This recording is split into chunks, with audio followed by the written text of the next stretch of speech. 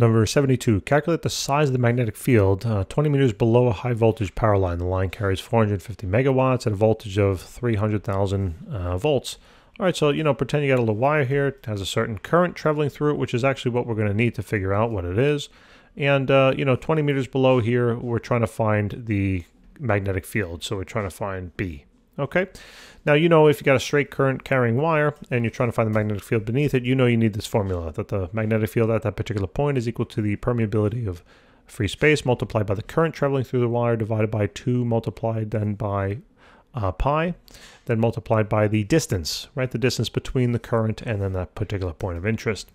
So here's the thing. What's the current? They didn't tell you. So now what you got to think about is, well, how in the world is power related and, and voltage, excuse me, related to current? All right, PIV. Okay, power is equal to the current multiplied by the voltage. You need this in watts, but that's in megawatts. So simply take, or if you want, solve this thing for I, right? What am I doing? Why don't we just do it over here, right? Solve it for I, just move the V on over. Look at how beautiful that is. So this is going to be 450 times 10 to the 6th, because that's the value in watts.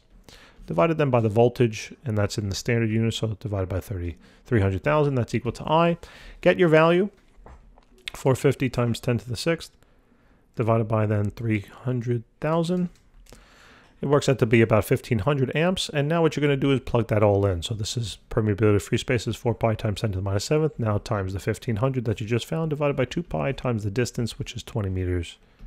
And there you go. So 4 pi times 10 to the minus 7th multiplied by 1500 divided then by 2 pi times, oh, 2 pi just times 20. 1.5, so 1.50, I guess, times 10 to the minus minus fifth Tesla. That's the magnetic field. Guys, thanks so much for tuning in. Appreciate it, which is basically like Earth's magnetic field, maybe even a little less. Guys, thanks so much for tuning in. Please remember to help us out and subscribe, and I'll see you soon. Take care.